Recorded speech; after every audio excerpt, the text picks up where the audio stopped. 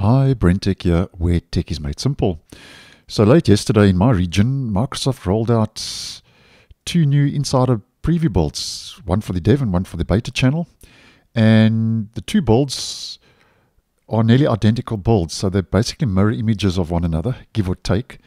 So just to focus on two new features that have rolled out, which I would say would be the key highlights for the dev and beta channels for this week.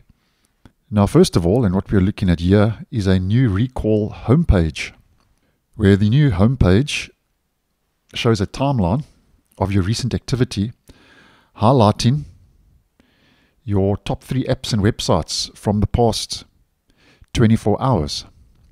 It also introduces a sidebar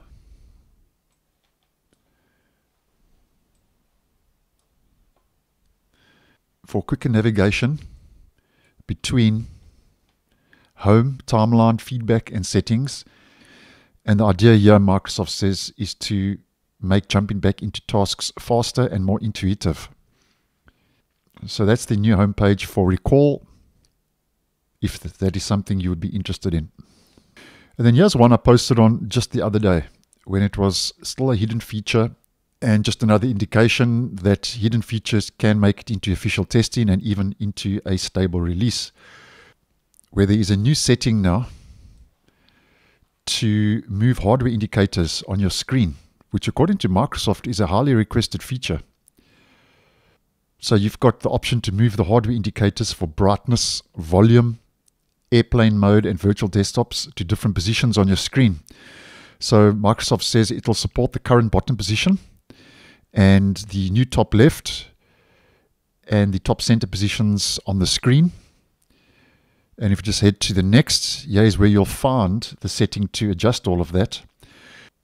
Where to change the position of your flyouts, you would head to Settings, System Notifications, and use the position of on-screen indicators to change that to bottom center, top left, or top center. So according to Microsoft, that's a highly requested feature. And I have seen a couple of comments that if Microsoft can move the on-screen indicators to different positions, why can't they move the taskbar to different positions? And I think the reason Microsoft isn't moving the taskbar is because it's to do with the start menu. But that could be a video for another day. So anyway, that's the two key highlights I would say from the Dev and Beta channels for this week. So thanks for watching, and I'll see you in the next one.